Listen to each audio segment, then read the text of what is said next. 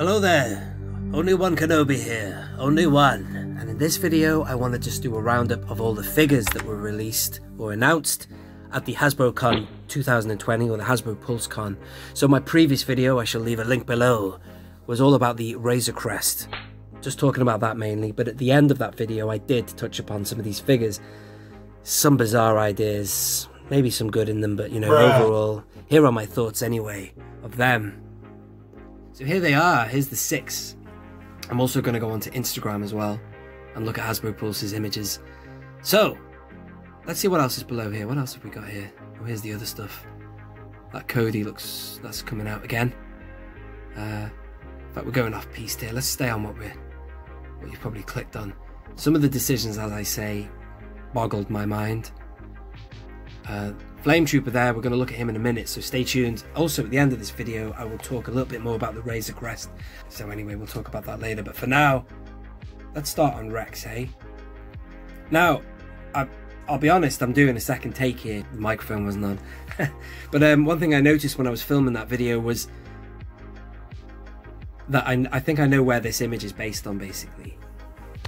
Tim from Bossk's Bounty, he likes this image. He likes that he, said that when he thinks of Rex, he sees that, and I can understand that. You do think of Rex when he does that a lot, doesn't he, in images? I personally, if you want to know my opinion, I didn't really like the card back when I first saw it. I didn't dislike it. I just thought, well, I've seen better images images of Rex. I thought it looked too cartoony, but however, I know why I think that because look at the card back. That purple thing, I know what it is. The first time you see Rex is in that battle in that city when they've got that massive force field going over them. Brilliant strategic move by Anakin in that whole scene with Ahsoka. Fantastic sequence. That's what I think it's based on. You can almost see the building in the background there. So now I like it, now I've realised that, but what I don't like is this figure. The figure is appalling. Bruh. We've said for Yonks that the quality when they brought that figure out, 2013, whenever it was, massive nosedive in quality. Compared to the ARC Trooper Commander, one of my favourite figures ever, they had the potential of doing something special for Rex here. You got to understand the thinking is it's probably cheaper for them to do this, repack that, but that was a terrible figure. It look, I say terrible, it looks alright. You can see quite nice detail on the helmet, but the helmet was undersized. Hard goods cape, not a patch on the ARC Trooper Commander, basically. That was my point on that one. I'm just sorry that they didn't warrant it worth an upgrade, you know. Still, of the ones that they have shown in this HasCon, is by no means the worst. This TIE Fighter, I've got a problem with this. Damn it, we are in the 40th anniversary of The Empire Strikes Back. This was their opportunity to give us the Empire Strikes Back badge at least on this card back. I mean, this is an expensive card in the vintage collection. Even back when I first started collecting it in 2016, that's when I really went for it. This was one of the more expensive ones, 50 quid if you were lucky, 40, 50. I don't know what he's worth now. But look at that image, man. That is an Empire Strikes Back TIE Fighter Chase. The original card back was an Empire Strikes Back card. Why they have decided to give us the Return of the Jedi other than the fact it might be easier for them. Give us some variancy, man, for God's sake when they do cards like that, I mean, it's not an it's not a Return of the Jedi card. We all know that it's Empire Strikes Back. I can understand that Hasbro are tipping the hat to the yesteryear, the past. This is C3PO on an, a New Hope image card, right? Well, the image is New, is New Hope. Badge Empire Strikes Back. That is because back in the 80s, they were famous, Hasbro, or Kenner back then, for re-releasing images for the new films. Like when The Empire Strikes Back came out, they just re-released the same card, with including the image, and the figure was the same, obviously, as well. But that is a New Hope image of the Stormtrooper. That's a New Hope image of 3PO. But the Empire Strikes Back badges on there. But where do we stop? Why do we have to have it again? Why haven't we had like a 3PO in the uh, on a New Hope badge. I wouldn't mind, it's just the fact that this is VOTC from 2004. In, 2000, in 2010, bang, we got 3PO again on an Empire Strikes Back. And Jesus, 2020, bang, he's back again, 3PO. Unbelievable. Unbelievable. That is so lazy or complacent or lack of vision or flexibility or something. You can put in the comments that they're doing it to save money. They can do whatever they want. They can do whatever they want, but they're not giving us what we want or what I want anyway. Variancy, man. Unbelievable. And I would have loved if they brought that out on an Empire Strikes Back. Unbelievable. That's what I think of that. Ridiculous. Moving on. This. Oh, God. I'm, I'm pretty in full on rant mode here. Um, the only good thing going for this is the fact that he is so expensive. For new collectors, they've got a chance of getting him now cheaply. But of all figures to bring out Peasant Anakin, what? The only thing that I like about this is that I don't have that loose. So I would like it loose. But if they were going to do something to, to incentivize or excite the fans, they could have given us something we haven't got. Like, for example, I'm going to talk about her in a minute, but Padme Amidala.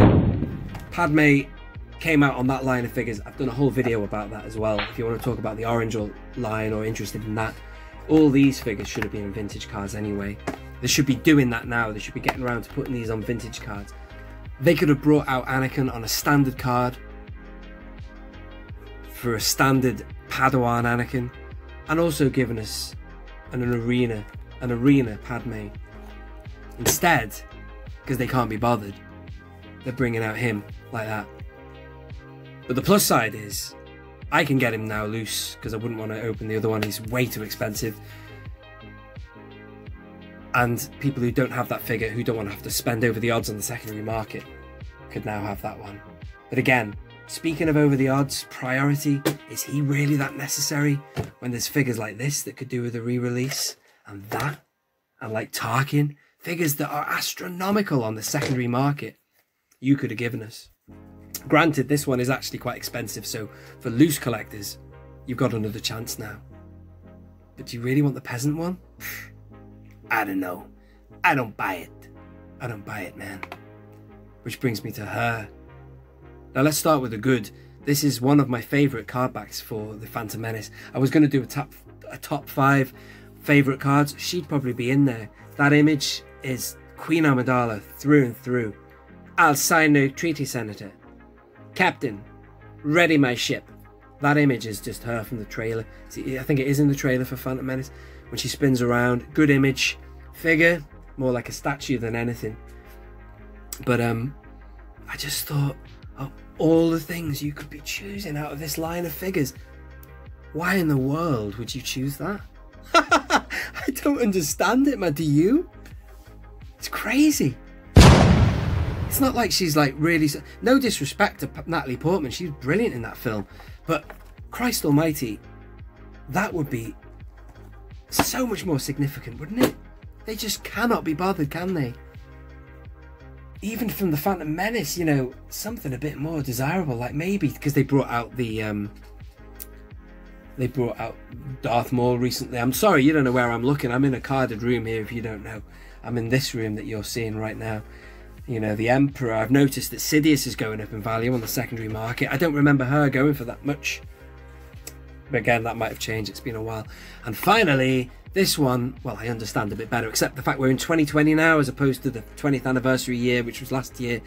This battle droid is obviously good for. Ba- uh, I can't even think. Sorry, this is a good choice for uh, army building. So that I can understand. Amidala, don't get it. This one I do understand. So that's good. But still, again, it's another slot that has been filled by something we've had before when we could have something new. Please don't say in the comments that it's easy for them. They're trying to cut money down. I understand that. I, I appreciate that. But they're also making a ton of money out of us anyway because we're all buying this stuff. Why aren't they investing this money into newer stuff, you know? I just don't understand it. But anyway, what are your thoughts on this? Please let me know in the in the comments below. Um, with regards the Razor Crest, I'm very excited. A lot of people were saying, "Why don't we get Sandcrawler?" Well, the reason you didn't get a Sandcrawler was probably because they could do that in the future. Sandcrawler, I feel like I've just got a Sandcrawler from them. I have got a Jabba's sail barge, which is a huge brown vehicle that crawls over the sands of Tatooine. Sandcrawler would be too similar to that. People have said that they could have put the Razor Crest in the standard vintage line, but I think that you're paying for uh, quality here. The features of this Razor Crest, can I find any images of it? Are going to kick ass. But then again, I'm, re- I'm really scratching my head. Why was that Falcon 400 quid when this is 350? Don't understand it. It's literally cheaper than the Falcon was. So that that's got me uh, got me scratching my head. Very puzzling. Very strange. I think that Sandcrawler would be good in the fullness of time, and also the Rebel transport. That would be a great idea. That that, that I can understand these people's arguments. Make use of the crowdfunding thing um, for getting you know real premium items, but this will be premium and it will be big, and it's heavy. I know that much. Anyway, let me know your thoughts below. I don't usually get that irate, but still, to be honest, sometimes when I, you know, it's a love-hate thing with Hasbro. I love certain, certain stuff, but sometimes I think, what are you doing? You know, who is making these decisions? Are you watching now? Answer me directly. I want to know your thought process. Anyway, thank you for watching. This has been Only One Kenobi. Only one. Out.